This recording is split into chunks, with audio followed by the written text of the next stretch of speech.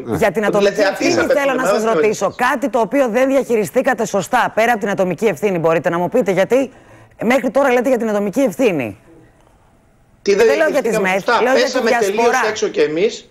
Πέσαμε τελείως έξω κι εμείς ως προς τη σφοδρότητα του δεύτερου κύματος.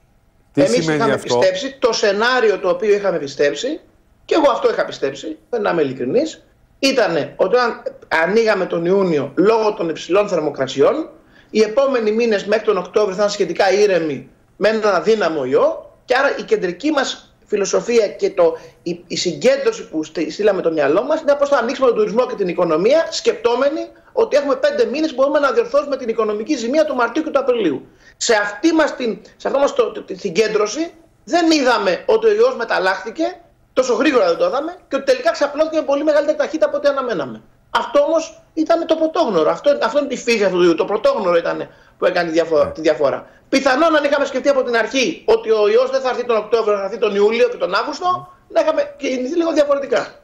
Ναι.